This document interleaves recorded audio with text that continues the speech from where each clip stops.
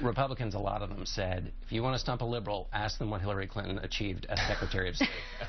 What's the answer? And, and, and that will be a, a running talking point for sure. And, well, it's a running answer. question. What- well, the short the short answer to that is that she focused on making sure that America was stronger abroad than it was when uh, Obama took office, and that is absolutely Maria, the let me case. ask- let me No, ask you this. You know, and, and of course Republicans will disagree. That's, well, that's not an answer. But- Let me ask you No, not an answer. it- Besides- an answer. besides- That is Not a good an- one. That is an important thing Besides, to put that out there. besides Iran and Cuba, name a country who the United States has better relationships now than when President Obama took office. Well, the world is a very complicated place.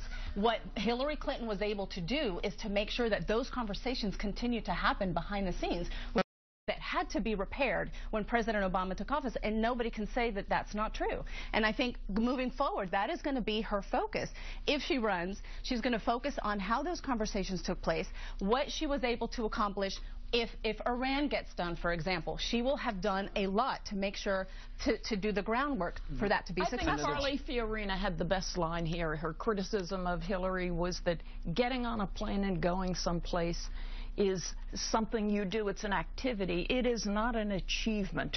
You know, I The think that, that kind of broke and that through was a the good talking day. point, but when you go back and look at